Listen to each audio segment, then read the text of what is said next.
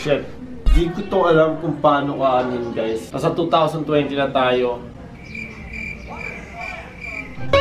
Nakakaya natin na guys. Kasi I mean, kahit yun ako, di ako makapaniwala guys. Like, holy shit man. It's coming true guys. Nagkakatotoo na. So, kung nakita nyo yung post ni Sir Trike sa, sa Tier 1, sa natin ito guys. Meron ng Bachelor Science in Esports. Holy shit, guys. Hindi ko alam saan ako pipwesto dito kasi gusto ko, guys. Like, to be honest, gusto kong pag-usapan natin to masinsinan, no? Okay? Pati ikaw, tol. Ikaw, Oo. uh, Charles. Kasi, guys, I mean, eto na hinihintay ko. Like, gustong gusto ko to. Kasi tuwing iniisip ko, alam mo, nung, nung bata ako, sana, sana magka-subject sa ganito, sa, sa gaming, tol. Sana magka-subject, para di na ako magbubulakbol. Like, reality check, man, nagbubulakbol ako dati para mapaglaro ng Counter-Strike dati, dito ako sa Pilipinas. Ragnarok, tapos mapunta akong Belgium, nagbubulakbol ako. Sasakit-sakitan ako. Sabi ng, nabi ng mami ko, Oh, pumasok ka na! Mas masakit ulo ko pagkaalis niya, boom, LOL kagad ako magdamagan. Ano mo yun? Kaso ngayon, eto na. Ko makita yung, yung, ano, yung mga subjects, yung mga courses dito. Courses o curses? Or Course. course, ah, curses kasi guys, ay, ang, ang meaning nun, pag nagmumaga ka, di ba, curse, Mm. oh, di ba?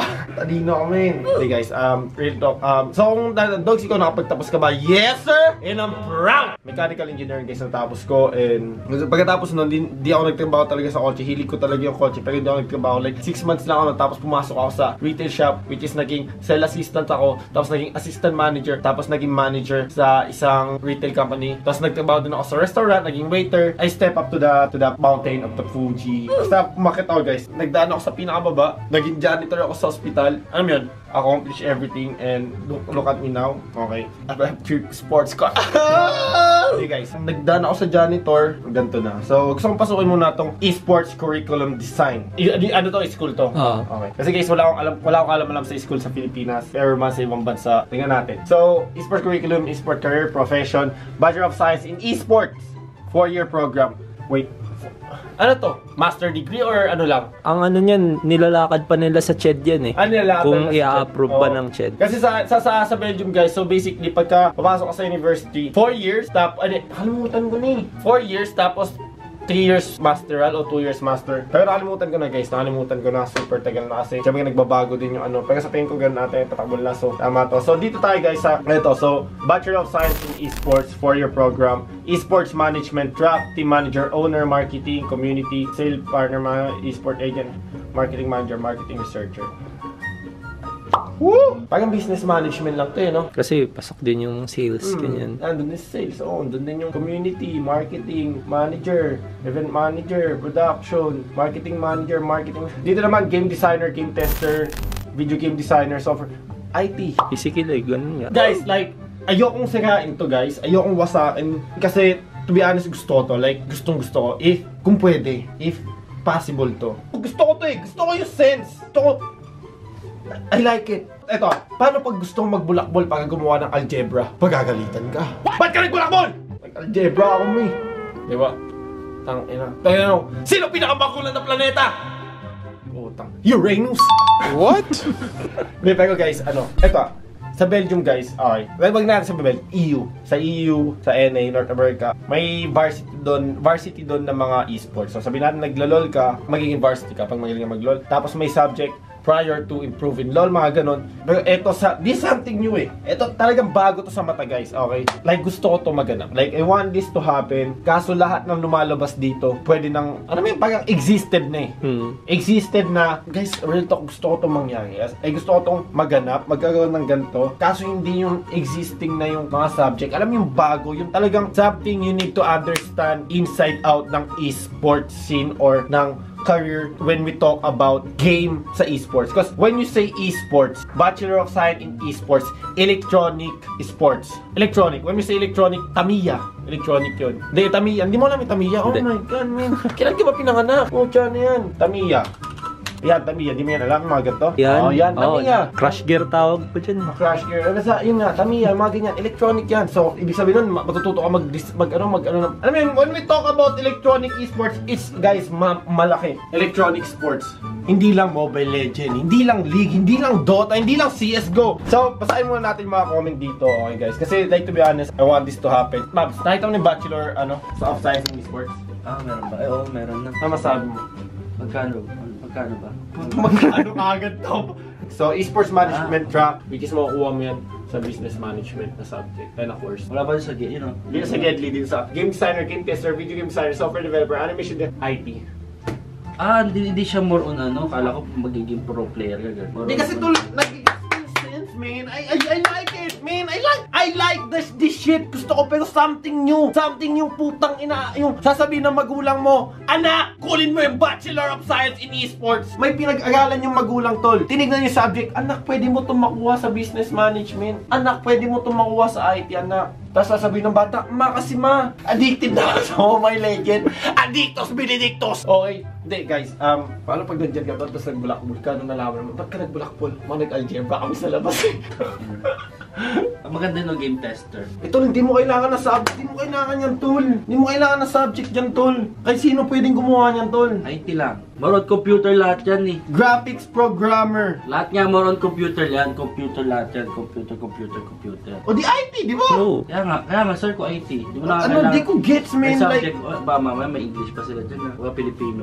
May Filipino subject. CB ka. May CB ka pa ba hanggang ngayon? Ano pang high school, ano lang yun? High school elementary. So yun nga guys, then basahin natin yung mga comment dito kasi gusto ko makita din reaction ng mga tao. Which is totoo lang kasi guys, this a humble opinion, okay? No disrespect kay, kay Sir Trike or sa Tier 1 but I want this to happen. To be honest, gusto ko itong maganap kasi tayo una eh. We will innovate something something bago. Maganda to guys, maganda to. Pero yun nga lang, like, pagka nag-ano, nag-ano si Trike, yung parang nag, nag-speech, gusto kong pumunta. Di ako makikipag-debate. Gusto ko lang, alam mo yun, sabihin niya sa akin, kasi dogs, ganto, ganto, ganto yan, eto yan, dogs, kasi ganto, eto, eto, ito. Okay. Ah, Hindi ako, ako guys, ayoko may pag Kasi ang argument guys, hindi matatapos. Okay. Hindi matatapos ang argument. Gusto ko lang malaman kung ano yung gusto niyang ano, ipa, ipahiwatig doon. Okay. Potang ina naman ni King Cosmos. Pengi guild package, brother. Pina-install ko na 5 shop. Mga atabs ko kalaga. Sige, tol. Sige, tang ina si King Cosmos. Okay, guys, by the way, open na yung server ko kung gusto niyo. Ilalagay ko yung link sa baba. Ragnarok server kung kung ano nyo to. So, yun nga, guys. Um, so, tignan natin dito. Comment ni Maria Gabriel. Ito yung kasi nasa top comment, guys. Kung titignan nyo nasa top comment. So, all of this skill provided by the curse can be easily obtained with a more secure degree, aka HRCOM, etc. It's a, go- a god-awful decision to choose a course that is too specific on the area of focus. Better choose a degree with bro- broader opportunities and do what you can to get into esport in that certain area. Looks like the course is just a scam for young adults with dreams. You guys are just going to ruin this in a long run. The moment they realize that they can get the job they want in, in the industry with limited and unsecure job opportunity. Totoo, men. Totoo. Di, di, di mo na kaya makapag-debate dito, men. This is something, yung, yung sinabi ni Mar- Mar- Maria Gabriel is point, nada. Like, kahit anong sabihin mo dito, men. Ito yung sinabi dito ni Maria Gabriel, guys. There's no better explanation than this. Ito lahat ng to makikita mo to sa mga sa, sa, sa courses. Kasi ito, like ano si, si Troy gusto kong makita din. Maria Gabriel, very valid point, ma'am. But in this day and age, capitalism is all about finding the competitive edge. In a world where esports is as big as industries that you are familiar with, this specific will definitely train you more than your general. You can be the jack of all trades and a master of none. Guys, kung na, na nabubulol ako sa English, please take note kasi lumaki ako sa French. So kung French to, mas mababasa ako ito maayos. In taking courses like this, the trade-off is definitely choosing a specialized while still getting enough general education on the other things. Imagine if you were an employer for esport, would you get someone with a general com background who may or may not know the technical? Okay, this, okay. Ito ah. Ito, ito masasabi ko kay Troy. Yung sinabi niya yun, parang sinasabi niya, kailangan mo kagad ng experience. Guys, nakapagtapos ako mechanical, ah, mechanical engineering, guys. So, nag-apply ako sa Renol, nag-apply ako sa Radio. Okay. May 6 months akong experience noon. Alam mo sinabi nila sa akin, guys, masyadong mababa yung experience mo, hindi ka pa ready. Kaya, tinake nila ako, tinake nila. Sinasabi ko dito, kahit alam mo yung subject na nun, kahit nakapagtapos ka in that area, may kumpanya na hindi ka pa rin kukunin. Isipin mo, nakapagtapos ako mechanical engineering, guys. Nasaan ako? Nasa business management ako. Which is super layo. It's not because na pinag-aralan mo yun na ganun na ganun matatagabaho mo. Experience pa din. Sabihin natin na IT ka, naglalaro ka ng ML, esports, nag-apply ka, sabihin nila, ano yung ano, IT, ganyan-ganyan. Ano yung mga experience, naglalaro ka ng mobile, I mean, di nyo kasi mag-gets, like, it's, may nga explain guys. Okay, tuloy natin. The promise of this course is to train the generation student who have a competitive edge for esport over there. If you are not willing to take that risk, nobody's pushing anyone to do so. At the end of the day, there are courses that end up getting you limited jobs anyway, so it's just up to you to decide if you are willing to do this or not. Oh my God promise guys, dapat ginawa nilang tong subject lang sa isang. Sabi natin sa IT may subject ka. Diba? Basa pa tayo dito kay JB Rob.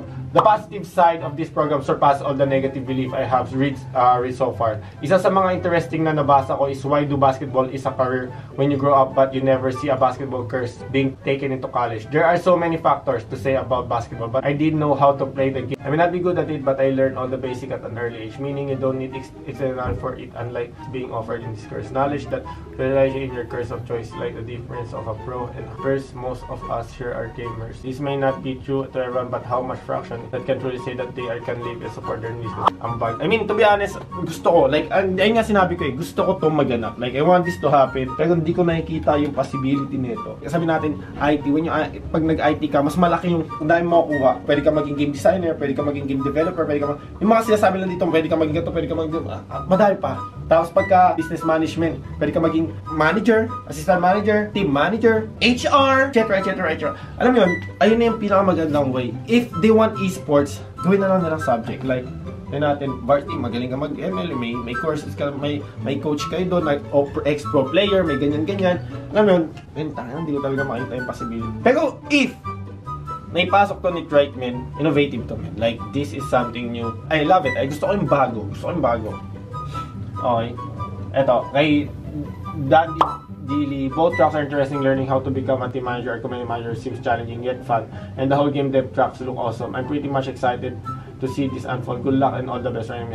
Maganda na kasi, maganda to. Pero yung sense of, ano nga doon, ayun nga eh. Yung mga magulang na may pinag-aralan tol, like yung nakapagtapos na, pag pinakita mo to sa kanila, hindi naman sa mata to, pero sabihin, anak, ano to? Anak, meron naman, ano mo yan? I mean, sa bata, tiyan mo, punta tayo sa kabila, which is mga bata player natin, okay? Yung mga bata, they want this, gusto nila to. Pero sa akin na nakapagtapos ako, may knowledge ako, konti sa ganun. Hoy! Copyright, idol! Copyright! Dapat meron din tayo subject sa copyright eh. Sa mga ugali mo, Charles? Ano, ano masabi niyo doon? Ano? Mitch Cole, ano masabi mo doon? Kasi eto sabi nga to target ko sa kanila eh. Estudyante, yung Estud- mga oo. graduate ng senior high school na Oo. yun. Yung, Ikaw, papasok ka ba doon kung ano? sabihin natin na ano, nakabutan ko siguro, Gugustuhin mo yun? gugustuhin ko rin yun. Siyempre, ano mo yun eh, passion mo yun eh. Oo. So paano pag sinabihan ka, name a planet in a game? Yung Inus. Putang ina, Uranus ako. Yung Inus. Uranus ako. Sino ba yung mga... Sino ba yung mga kunat? Yung Linus. Wala kulang pag planeta. Perfect! You're perfect! Graduate ka na! Graduate ka na. Graduating ka agad dito. Hey guys, yun nga, ito sa mga bata men, appealing yun talaga. Like, kahit, kahit yun sa akin, kasi nandito ako sa ano eh, industry ako tong esports eh. Alam mo yun? To be honest, boto. Ay, ikaw gusto mo maganap. Sa akin gusto ko maganap yun. Ay, good naman yun. eh.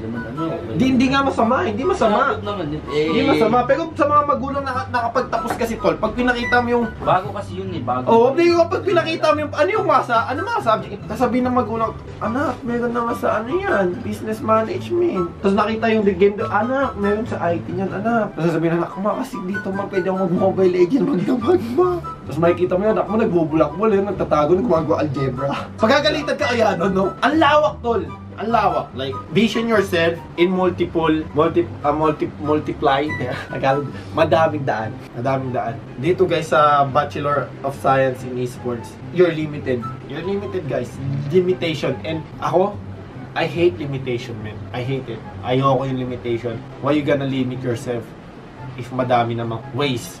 Yeah. Gusto ko malaman opinion nyo. Kung may mga ano ako dyan, may mga viewer ako na ano magulang. Gusto ko malaman opinion nyo. And yung mga teenager, gusto ko malaman opinion nyo. Kung goods ba to. Kasi guys, sa surrounding ko guys, may gusto, may ayaw. Ako, willingly, gusto ko. Pero di ko nakikita sarili ko doon. Kasi may ano yun, may, may kasi may experience ako eh. Ikaw, di ba? Pag may experience ka, malaman mo eh. Kung wala experience, mabubulag ka. Ikaw, Charles, tingin mo. Di, totoo, totoo, sa'yo. Kasi nung una, nung pagkakita ko, talagang na ano ako eh. Catch talaga Nakatch din ako. ako, ako din. Ayun na nga, hindi. Pero, kasi sabihin natin, okay, nag-focus naman sila sa, sabihin natin, nag-subject sila, pinocus nila sa Mobile Legend. Paano pag nalaos Mobile Legend? Hindi nga, paano pag LOL? Nalaos. Which is ngayon laos na yung LOL, man. Dito sa Pilipinas, pero sa ibang masa, sikat na sikat. Alam yun, it can be a subject, but focus into it, man. Like, talaga gusto ko to. Like, I, I like it kasi mga bata motivate pumasok. And education is education. Sana, ayun nga, matupad to. Ito yung tagaan kaya hindi magbulak-bulak bata. Much more mag-explore sila dun sa school mismo. Mas gusto nilang pasukin yung... yung kasi, kasi ako guys, sabihin ko si allergy ako sa school guys. Pagka pumupunta ako sa school, puta, I mean, sinisipon ako. Pag nakita ko niya nag-stream, ibig sabihin nagtatrabaho ako. No, allergic din ako sa trabaho tol, sinisipon din ako. Napakatamad kong tao. Pero pag ito yung subject ko, Bachelor of Science in Esports, tapos putya na yan, 8 hours ka maglalaro ng Mobile Legends, papasukin ka doon, gamis tanga na. No? Puta pag uwi ko, putang na, ayoko na maglaro ng ML. No, itutulog ko na lang. 7 pa, tutulog na ako pag maaga ako bukas. Bago pa lang magbukas yung gate, nandun ka na. Yung guard eh, no, ang aga mo. Talago pa ako ML eh. Mas maaga ka pa sa, ay, PLDT kayo sa akin. Sir, may PLDT na po ba dito? Fiber pa lang. Ay, hindi pa fiber? Bakit? Wala akong fiber dito ang PLDT. Kapalitan mo na si Converge ko. Paano yan? Mga may subject natin sa pag pagiging streamer. Ah, Paano yan, no? Naka-subject na sa pagiging streamer din. No? Exclamation notify. Share nyo mga idol, share nyo lang po yan. Exclamation natin, pag humabot tayo ng 1,000 viewer, papatayin ko yung live stream. Magkaka-subject sa pagpa-vlog. Ma, may diploma na ako, ma! ano yun? Pwede na ako mag-vlog! Putang ina, may napakasabi. Promise, mo ko ba? Babs! Babs! Gusto mo nga yung pinto? Paano yun, tol? Eh, di ba yung ano na din? May subject na din paano maging streamer. Paano yun? Sinabi ba nila meron? Malay mo, eh, bakit esports eh. Eh, syempre. Ano na yun? Kakitaan. Tapos may subject na din sa paano mag-vlog. Guru. Nakagalan dun na eh. Oh, puta. Paano yun pagka nag-graduate ka tapos sinabi mo, ano yun, master degree in streaming? Ano ba pinakamalaking ano yun? Sa bagay. Hindi din siya tanga. Bobo pa. Tanga na naman. Tara. So yeah guys, that is it. Sana gusto nyo. Mabs! Hold up ka muna, hold upan mo. Kahit na ah, konting, ubutubad ka ba? Puto. Kahit yung braso lang, please. Hold up. Hold up. so yeah guys. Peace! Di mo ba parang